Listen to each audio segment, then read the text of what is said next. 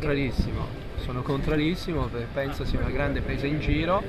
La eh, Meloni è Presidente del Consiglio, come farà a fare la campagna elettorale e poi non andrà a fare l'europarlamentare, lo stesso è Lichtenstein a meno che non decida di andare a fare l'europarlamentare. Cioè noi stiamo ragionando del, del futuro dell'Europa, non possiamo pensare che il tema è una contesa interna, dobbiamo parlare dei programmi, delle politiche europee, di quello che vogliamo andare a fare, ma ingannare così i cittadini no.